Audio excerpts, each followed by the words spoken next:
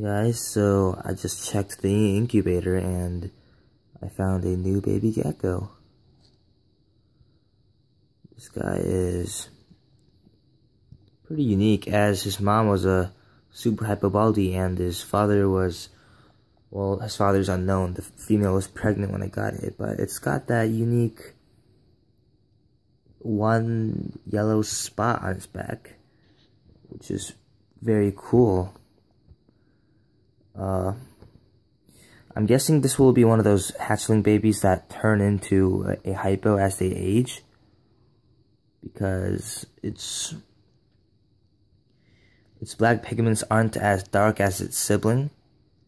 Its sibling being already hatched about a while ago.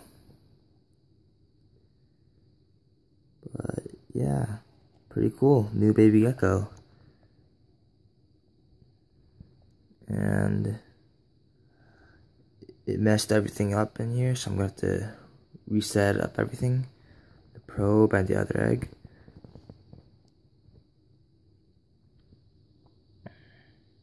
So yeah. Thanks for watching